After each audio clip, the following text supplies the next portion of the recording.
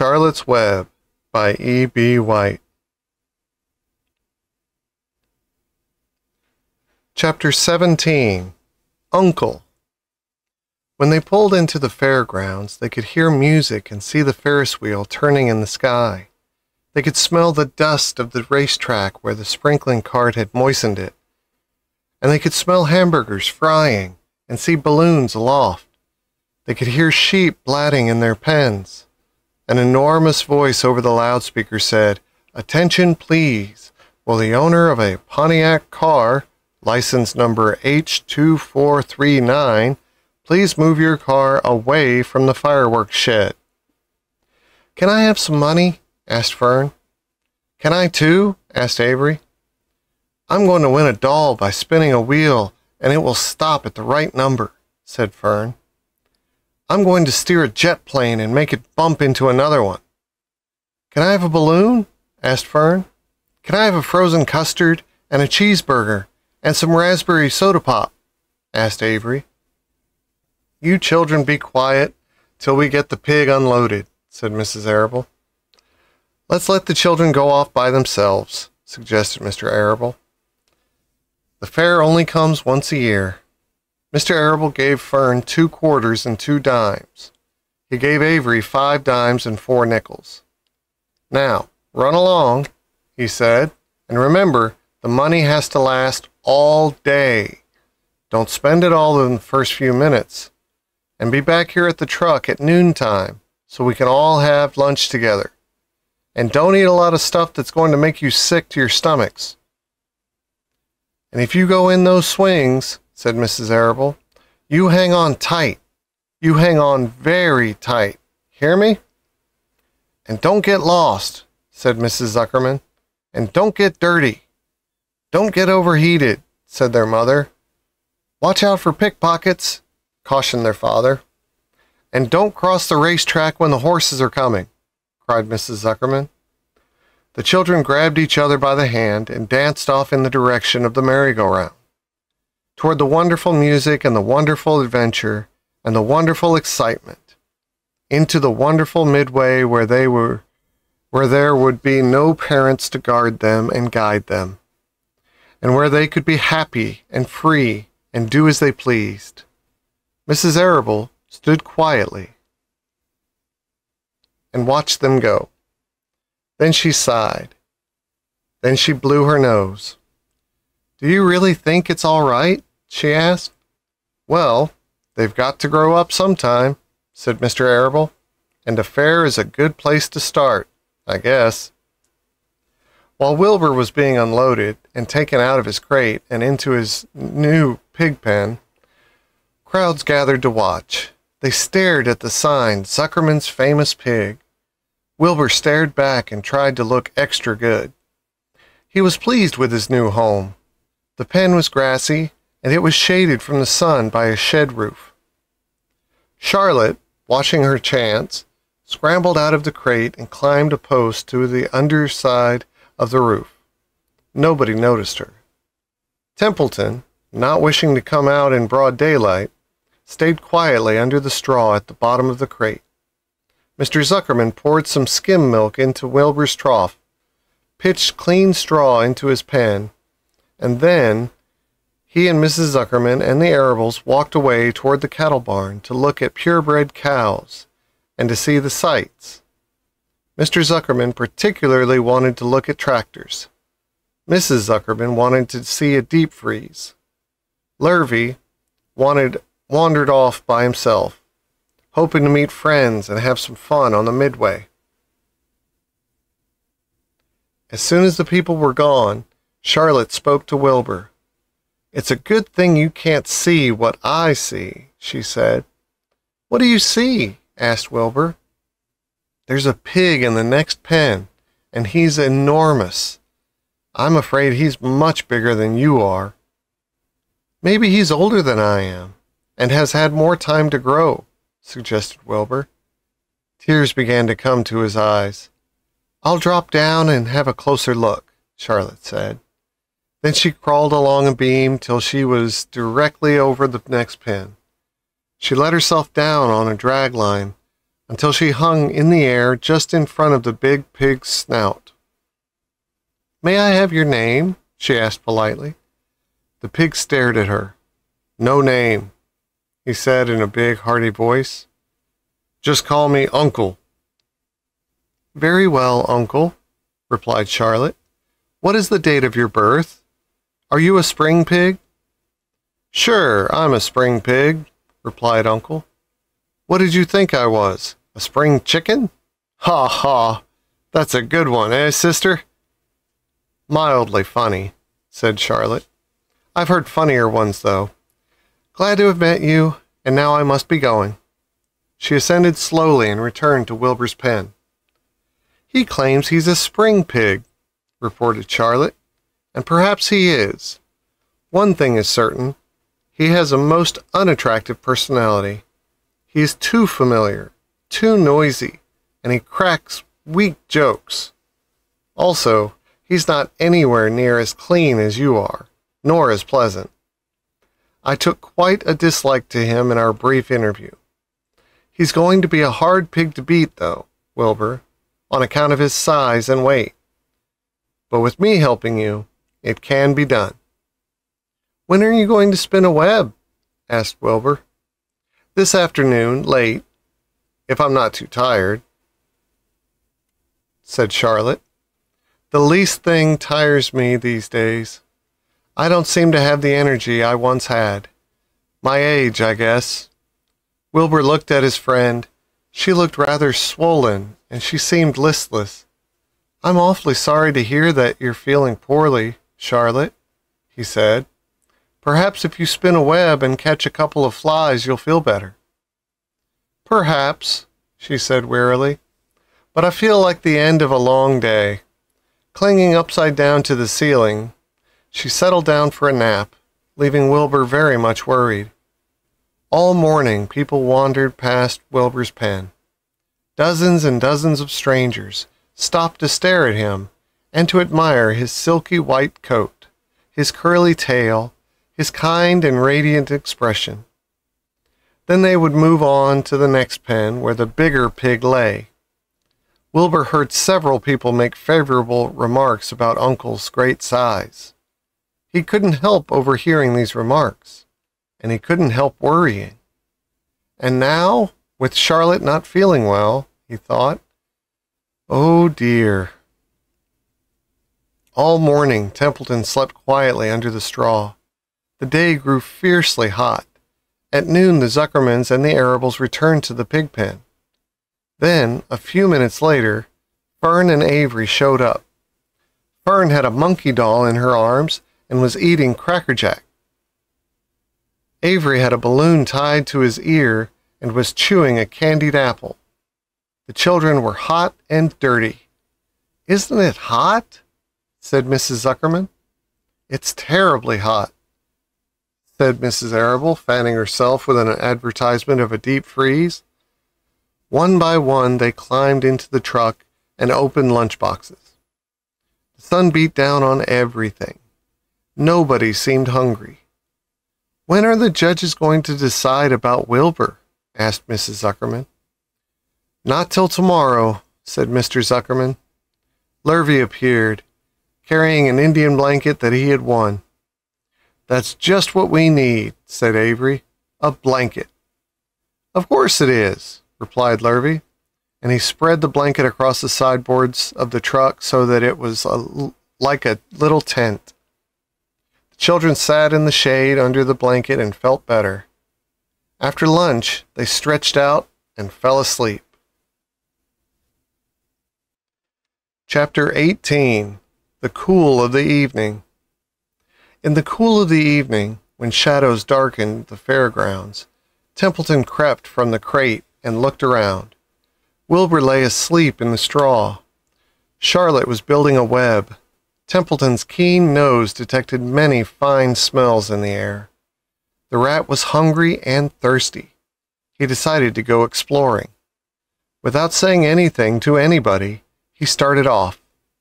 Bring me back a word, Charlotte called after him. I shall be writing tonight for the last time. The rat mumbled something to himself and disappeared into the shadows. He did not like being treated like a messenger boy. After the heat of the day, the evening came as a welcomed relief to all. The Ferris wheel was lighted now. It went round and round in the sky and seemed twice as high as by day. There were lights on the midway, and you could hear the crackle of the gambling machines and the music of the merry-go-round and the voice of the man in the Beano booth calling numbers. The children felt refreshed after their nap. Fern met her friend Henry Fussy, and he invited her to ride with him in the Ferris wheel. He even bought a ticket for her, so it didn't cost her anything. When Mrs. Arable happened to look up into the starry sky and saw her little daughter sitting with Henry Fussy and going higher and higher into the air, and saw how happy Fern looked, she just shook her head. My, my, she said. Henry Fussy, think of that. Templeton kept out of sight. In the tall grass behind the cattle barn, he found a folded newspaper. Inside it were leftovers from somebody's lunch. A deviled ham sandwich, a piece of Swiss cheese, part of a hard-boiled egg, and the core of a wormy apple. The rat crawled in and ate everything. Then he tore a word out of the paper, rolled it up, and started back to Wilbur's pen. Charlotte had her web almost finished when Templeton returned, carrying the newspaper clipping. She had left a space in the middle of the web. At this hour, no people were around the pig pen, so the rat and the spider and the pig were by themselves. I hope you brought a good one, Charlotte said. It is the last word I shall ever write. Here, said Templeton, unrolling the paper. What does it say? asked Charlotte. You'll have to read it for me. It says humble, replied the rat. Humble, said Charlotte. Humble has two meanings. It means not proud, and it means near the ground. That's Wilbur all over. He's not proud, and he's near the ground. Well, I hope you're satisfied, sneered the rat. I'm not going to spend all my time fetching and carrying. I came to this fair to enjoy myself, not to deliver papers. You've been very helpful, Charlotte said. Run along if you want to see more of the fair. The rat grinned. I'm going to make a night of it, he said. The old sheep was right. This fair is a rat's paradise. What eating! And what drinking! And everywhere good hiding and good hunting. Bye bye, my humble Wilbur. Fare thee well, Charlotte, you old schemer. This will be a night to remember in a rat's life. He vanished into the shadows. Charlotte went back for, to her work. It was quite dark now. In the distance, fireworks began going off. Rockets, scattering fire, fiery balls in the sky. By the time the Arables and the Zuckermans and the Lurvy returned from the grandstand, Charlotte had finished her web. The word humble was woven neatly in the center. Nobody noticed it in the darkness. Everyone was tired and happy. Fern and Avery climbed into the truck and lay down. They pulled the Indian blanket over them. Lurvy gave Wilbur a forkful of fresh straw. Mr. Arable patted him. Time for us to go home, he said to the pig. See you tomorrow. The grown-ups climbed slowly into the truck, and Wilbur heard the engine start. Then he heard the truck moving away in low speed.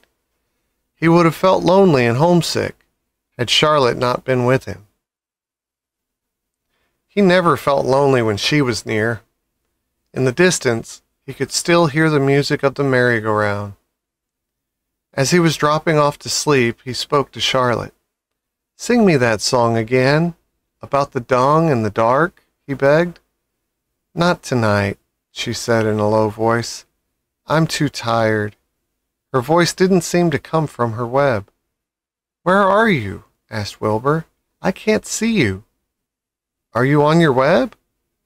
I'm back here, she answered, up in this back corner. Why aren't you on your web? asked Wilbur. You almost never leave your web. I've left it tonight, she said. Wilbur closed his eyes. Charlotte, he said after a while, do you really think Zuckerman will let me live and not kill me when the cold weather comes? Do you really think so? Of course, said Charlotte. You are a famous pig, and you are a good pig. Tomorrow you will probably win a prize. The whole world will hear about you. Zuckerman will be proud and happy to own such a pig. You have nothing to fear, Wilbur, nothing to worry about. Maybe you'll live forever. Who knows? And now, go to sleep. For a while there was no sound. Then Wilbur's voice. What are you doing up there, Charlotte? Oh, making something, she said. Making something as usual. Is it something for me? asked Wilbur. No, said Charlotte. It's something for me, for a change. Please tell me what it is, begged Wilbur. I'll tell you in the morning, she said.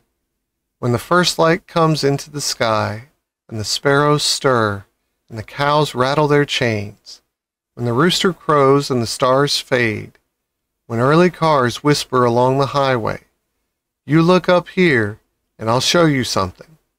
I will show you my masterpiece. Before she finished the sentence, Wilbur was asleep. She could tell by the sound of his breathing that he was sleeping peacefully, deep in the straw. Miles away at the Arables' house, the men sat around the kitchen table eating a dish of canned peaches and talking over the events of the day. Upstairs, Avery was already in bed and asleep. Mrs. Arable was tucking Fern into bed. Did you have a good time at the fair? she asked as she kissed her daughter. Fern nodded. I had the best time I have ever had anywhere or any time in all of my whole life. Well, said Mrs. Arable, isn't that nice? Chapter 19 The Egg Sac Next morning, when the first light came into the sky and the sparrows stirred in the trees, when the cows rattled their chains and the rooster crowed and the early automobiles went whispering along the road, Wilbur awoke and looked for Charlotte. He saw her up overhead in a corner near the back of his pen. She was very quiet. Her eight legs were spread wide. She seemed to have shrunk during the night. Next to her, attached to the ceiling, Wilbur saw a curious object. It was a sort of sack or cocoon. It was peach colored and looked as though it were made of cotton candy. Are you awake, Charlotte? he said softly. Yes, came the answer. What is that nifty little thing? Did you make it? I did indeed, replied Charlotte in a weak voice. Is it a plaything? Plaything? I should say not. It is my egg sac, my magnum opus. I don't know what a magnum opus is, said Wilbur. That's Latin, explained Charlotte. It means great work. This egg sac is my great work, the finest thing I have ever made. What's inside it? Asked Wilbur. Eggs? Five hundred and fourteen of them, she replied. Five hundred and fourteen? said Wilbur. You're kidding. No, I'm not. I counted them. I got started counting, so I kept on, just to keep my mind occupied. It's a perfectly beautiful egg sac, said Wilbur, feeling as happy as though he had constructed it himself. Yes, it is pretty, replied Charlotte, patting the sack with her two front legs. Anyway, I can guarantee that it is, strong, it is strong. It's made out of the toughest material I have. It is also waterproof. The eggs are inside and will be warm and dry. Charlotte, said Wilbur dreamily, are you really going to have 514 children? If nothing happens, yes, she said. Of course. They won't show up till next spring. Wilbur noticed that Charlotte's voice sounded sad. What makes you sound so downhearted? I should think you'd be terribly happy about this. Oh, don't pay any attention to me, said Charlotte. I just don't have much pep anymore.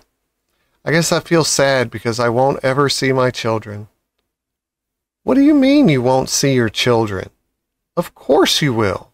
We'll all see them. It's going to be simply wonderful next spring in the barn cellar with 514 baby spiders running around all over the place. And the geese will have a new set of goslings. And the sheep will have their new lambs. Maybe, said Charlotte quietly. However, I have a feeling I'm not going to see the results of last night's efforts. I don't feel good at all. I think I'm languishing, to tell you the truth. Wilbur didn't understand the word languish, and he hated to bother Charlotte by asking her to explain. But he was so worried he felt he had to ask. What does languishing mean? It means I'm slowing up, feeling my age.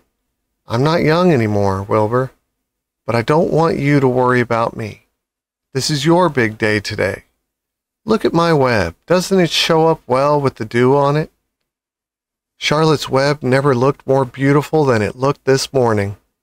Each strand held dozens of bright drops of early morning dew. The light from the east struck it and made it all plain and clear. It was a perfect piece of designing and building. In another hour or two, a steady stream of people would pass by, admiring it and reading it and looking at Wilbur and marveling at the miracle. As Wilbur was studying the web, a pair of whiskers and a sharp face appeared. Slowly, Templeton dragged himself across the pen and threw himself down in a corner. I'm back, he said in a husky voice. What a night! The rat was swollen to twice his normal size. His stomach was as big around as a jelly jar. What a night! he repeated hoarsely. What feasting and carousing! A real gorge! I must have eaten the remains of thirty lunches. Never have I seen such leavings, and everything well ripened and seasoned with the passage of time and the heat of the day. Oh, it was rich, my friends, rich. You ought to be ashamed of yourself, said Charlotte in disgust. It would serve you right if you had an acute attack of indigestion. Don't worry about my stomach, snarled Templeton. It can handle anything. And by the way, I've got some bad news. As I came past the pig next door, the one that calls himself Uncle, I noticed a blue tag on the front of his pen. That means he has won first prize. I guess you're licked, Wilbur. You might as well relax. Nobody's going to hang any medal on you. Furthermore, I wouldn't be surprised if Zuckerman changes his mind about you. Wait till he gets hankering for some fresh pork and smoked ham and crisp bacon. He'll take the knife to you, my boy. Be still, Templeton, said Charlotte. You're too stuffed and bloated to know what you're saying. Don't pay any attention to him, Wilbur. Wilbur tried not to think about what the rat had just said. He decided to change the subject. Templeton, said Wilbur. If you weren't so dopey, you would have noticed that Charlotte has made an egg sac. She is going to become a mother. For your information, there are 514 eggs in that peachy little sack. Is this true? Asked the rat, eyeing the sack suspiciously. Yes, it's true, sighed Charlotte. Congratulations, murmured Templeton. This has been a night. He closed his eyes, pulled some straw over himself, and dropped off into, into a deep sleep. Wilbur and Charlotte were glad to be rid of him for a while. At nine o'clock, Mrs. Mr. Arable's truck rolled into the fairgrounds and climbed to a, came to a stop at Wilbur's pen. Everybody climbed out. Look, cried Fern. Look at Charlotte's web. Look what it says. The grown ups and the children joined hands and stood there studying the new sign. Humble, said Mr. Zuckerman. Now, isn't that just the word for Wilbur? Everyone rejoiced to find that the miracle of the web had been repeated. Wilbur gazed up lovingly into their faces. He looked very humble and very grateful. Fern winked at Charlotte. Lurvy soon got busy.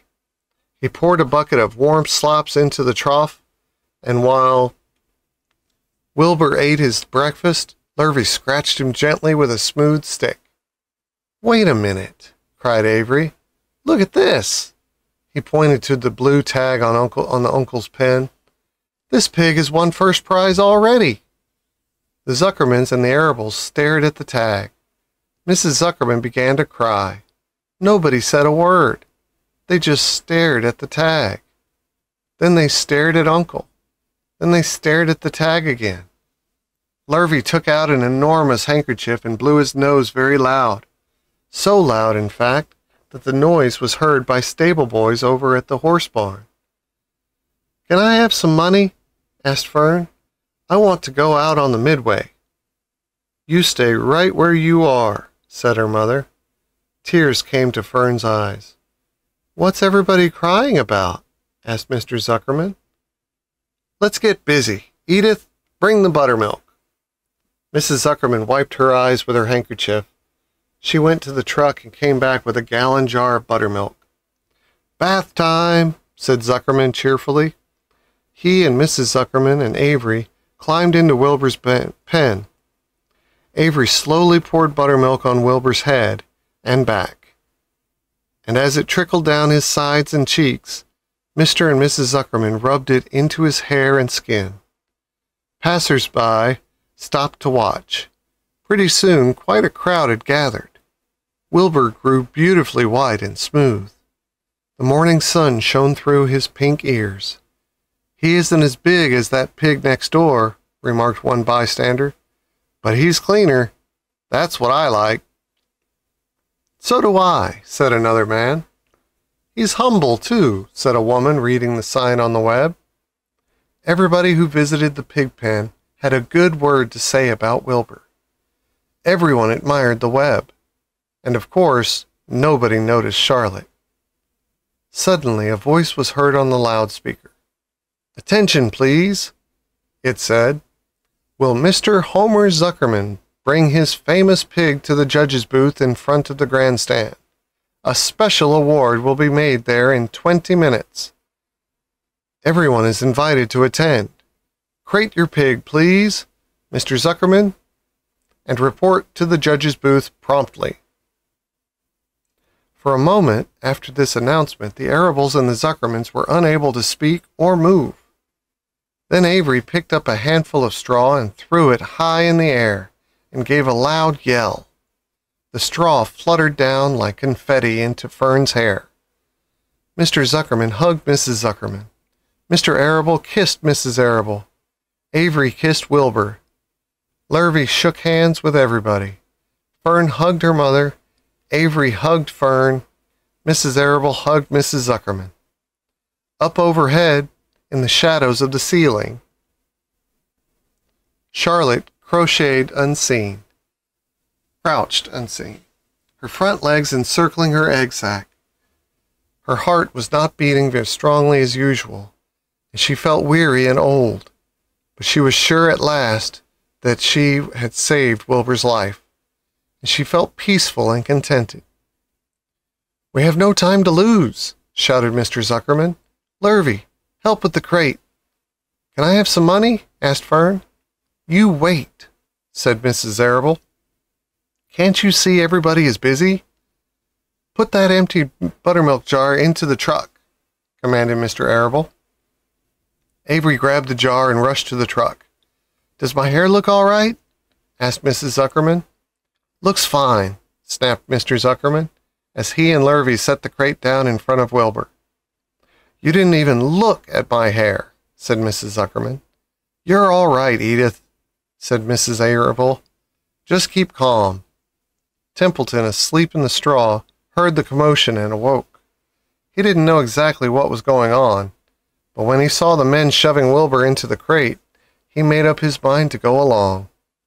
He watched his chance, and when no one was looking, He crept into the crate and buried himself in the straw at the bottom. All ready, boys? cried Mr. Zuckerman. Let's go. He and Mr. Arable and Lurvy and Avery grabbed the crate and boosted it over the side of the pen and up into the truck. Fern jumped aboard and sat on top of the crate. She still had straw in her hair and looked very pretty and excited. Mr. Arable started the motor. Everyone climbed in, and off they drove to the judge's booth in front of the grandstand. As they passed the Ferris wheel, Fern gazed up at, at it and wished she were in the topmost car with Henry Fussy at her side.